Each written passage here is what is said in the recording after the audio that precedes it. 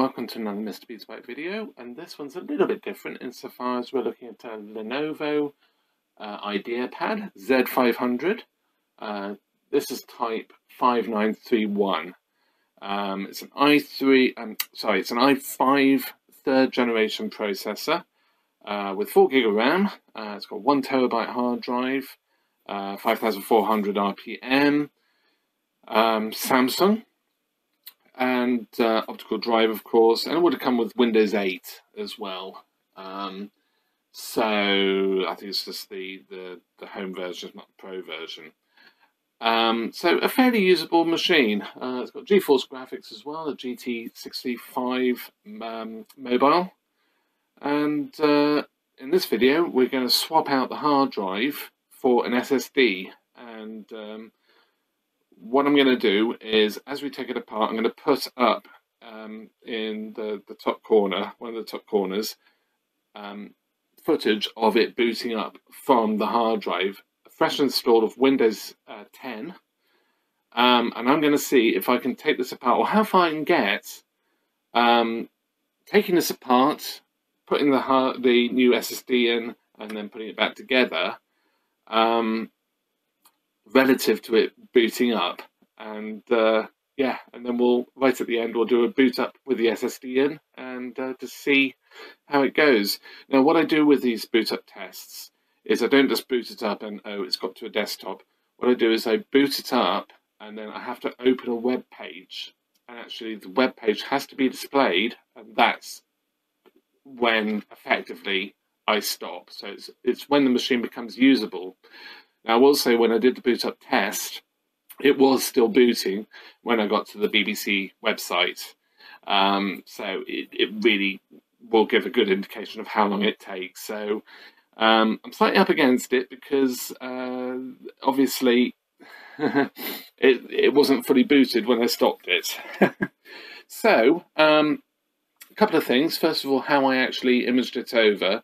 I'd already installed um, Windows 10 uh, on this and um, obviously found it woefully slow. So I said to the owner, um, SSD would make a huge difference. Do you want to go for that? Yes. So rather than put an SSD in and reinstall it, I actually imaged it over. Um, mainly because of the drivers. The drivers are a little bit of a pain. It's not terrible, but a bit of a pain.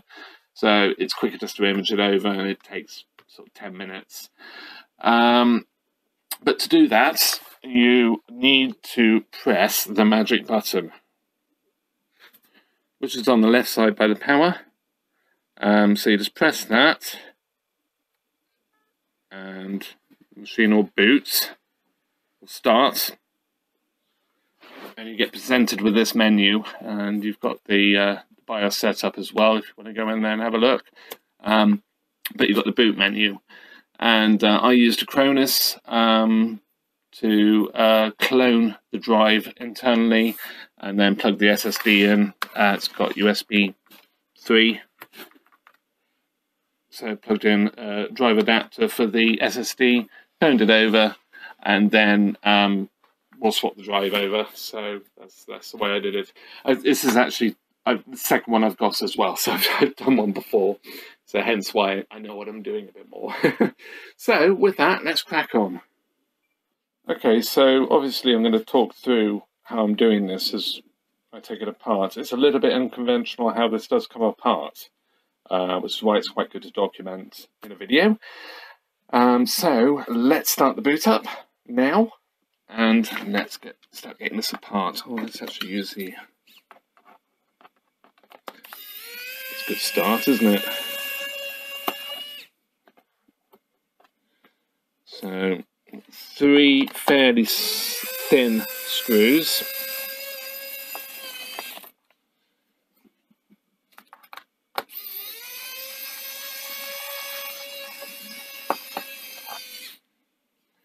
And I'm putting these the screws are actually off off camera, but I do put them in order. So um, yeah, I work back um, sort of in rows with the screws for each level. So underneath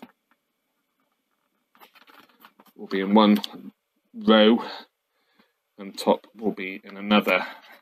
Now, these have interesting feet. The feet actually are captive, they're not glued, they just press onto little tabs.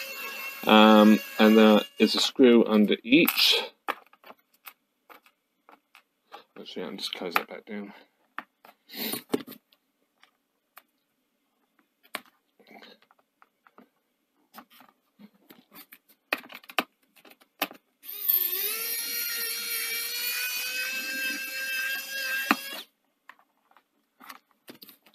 And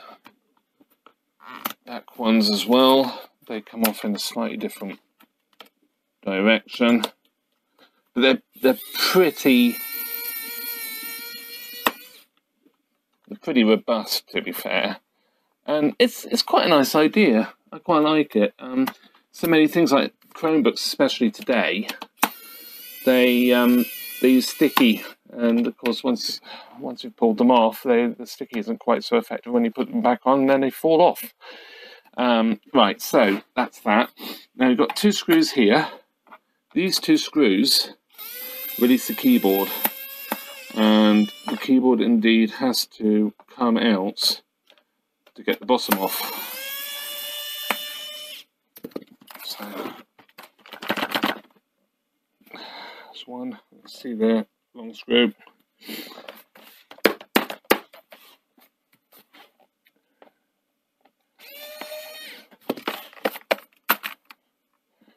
Don't know how we're doing time wise. Um,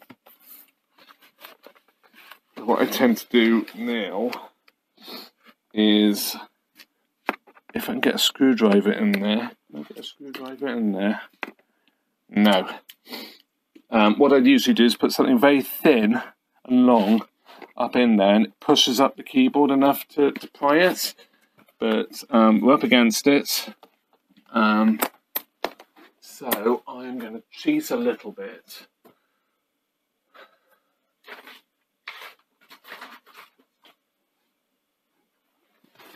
And use a plectrum.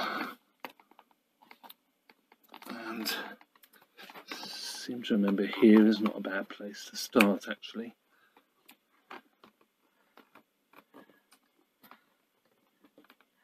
Um, you could use a screwdriver blade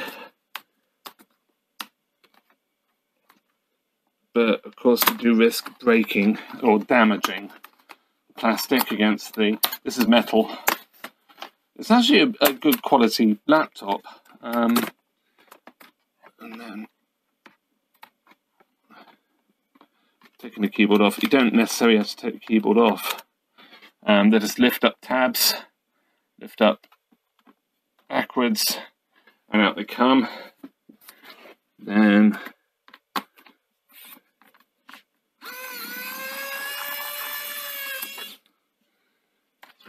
these. These are all the same, these screws. Um, and you do have to take the optical drive out.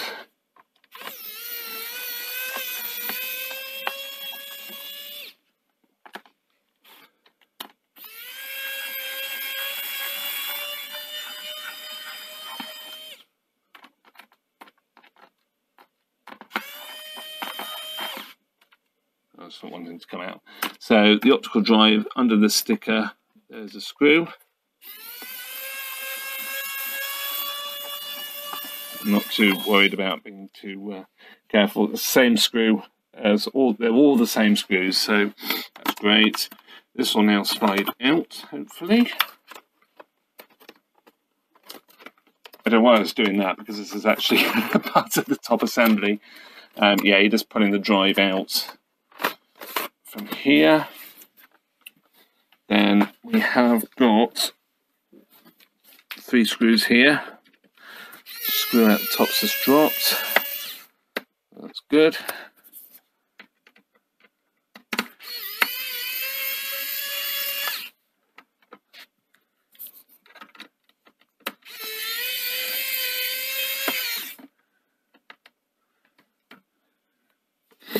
And then it's a case of prying off. Let's just get that screw in. prying off this. And this will come off fairly easily.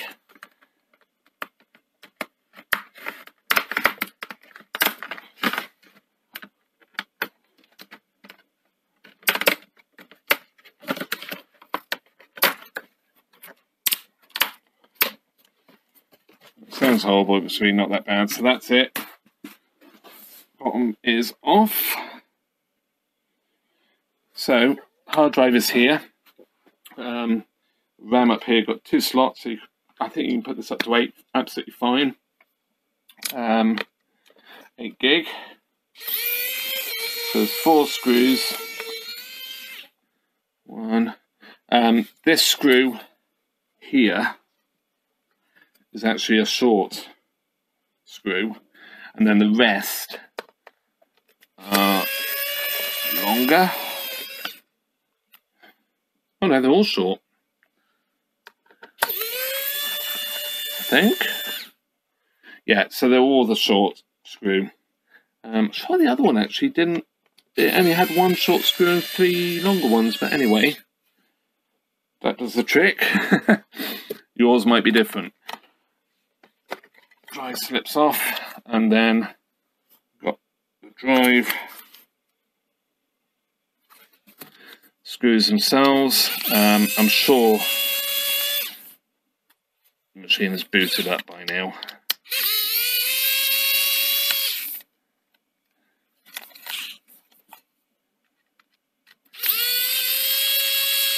On this fine one terabyte hard drive.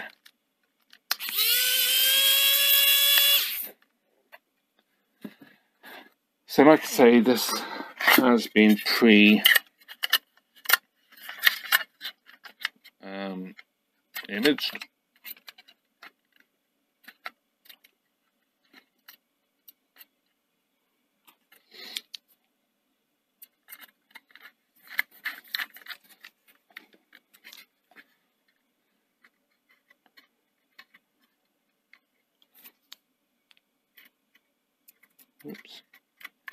Screwdriver has a little bit of magnetic effect, which is rather handy.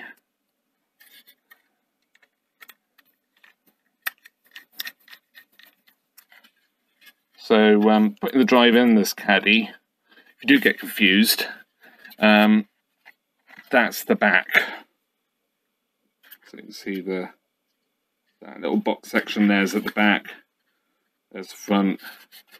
Um, and uh, sort of the open part of the tray is the open part of the connectors. So yeah, that should do the trick. And then put this back in. And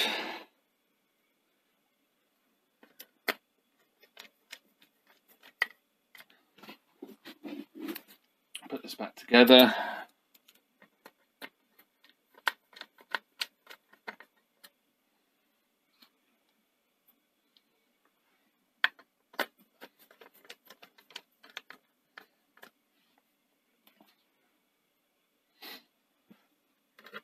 I have to say, it's. I mean, this would have been a fairly premium machine in its time, but you know, it's a pretty decent uh, bit of kit, really. Um, when I first took a look at it, I thought, oh no, this is going to be a nightmare. It's going to be one of those machines where they try to be really clever, make it all nice and smooth lines. And um, no, actually, it's pretty, pretty cool. Um, so I'm putting this all back together um, without testing the SSD. Uh, I know it imaged correctly and successfully, um, but if for any reason something did mess up, it's just a reverse um, of how I did it before. So obviously the, the source drive becomes the external drive connects to the USB, boot Acronis, um, and uh, yeah, just do it, do it the other way. Oh yeah, don't put those in yet because they hold the keyboard. Um, so let's do the top. Um, oh. Why have putting it together? It's booted. I must have pressed the power button. well, there you go. That works. So let's just uh, shut this down. oh dear. Oops. ah. I don't edit things out as a rule. Um, only edit out sort of things where my hands are in the way. So it's it's quite it's quite cool that it's done that and just shows everybody makes mistakes and everybody has those those moments where it's just like oh just boot it up while I'm putting it back together. Um, yeah, you want to avoid that. Of course, it's a captive battery. Um, you can't take the battery out, so it's not like you can really sort of stop it from doing that if, if there's any charge at all in the battery. Um, so this screw here.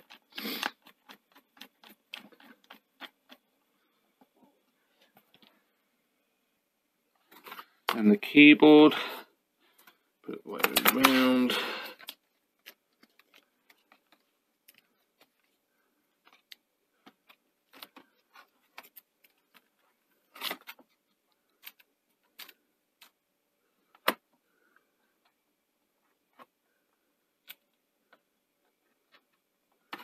And I know you can't probably see that, but there are lines on each um, each ribbon. Hasn't gone in very well, so you just need to make sure the lines are right up to the edge. Um, interesting, sort of how twisted this is, but that's the way it, way it is, and uh, seems seems to work, and it's done nearly ten years. Gosh, shocking. Interestingly, Lenovo are just now um, saying that this is nearing the end of support, uh, which is quite interesting. So, 10 years. So,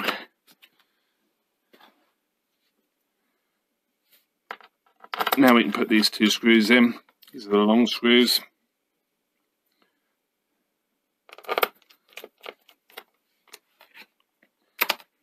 and these screws that we kept captive. I do like being able to do that. This means you're absolutely sure that you're putting the right screws back in because they never left. there we go.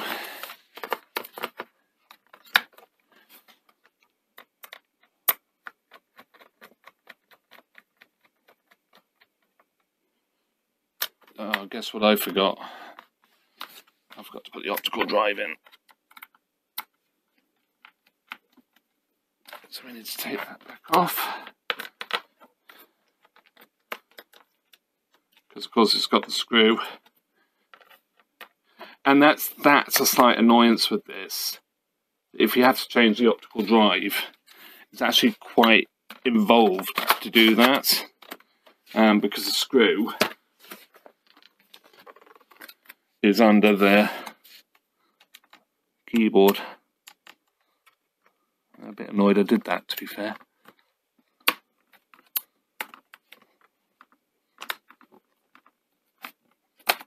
Oops.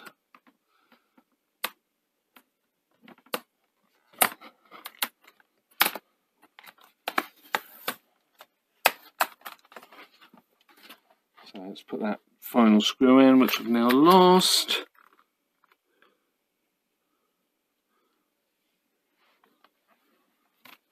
Oh.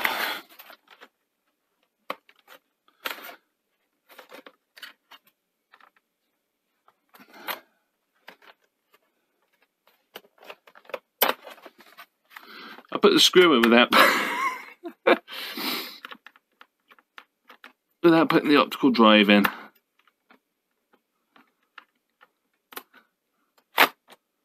There we go.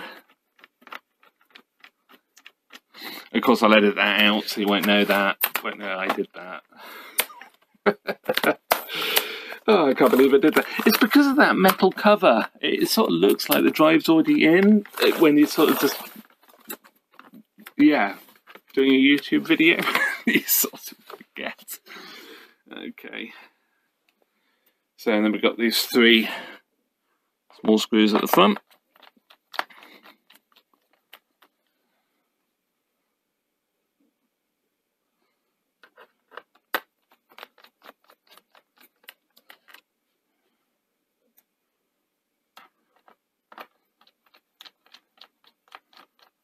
Super, so that's done. Except for there's two keyboard screws. Super. Okay, it's all back together. Let's power it on, see how long it takes.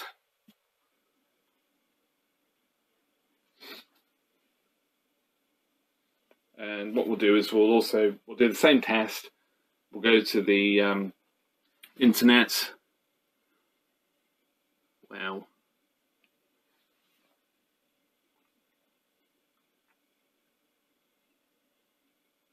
And of course, I haven't started this previously, so it will be a tiny bit slow because it won't actually have the proper driver setup.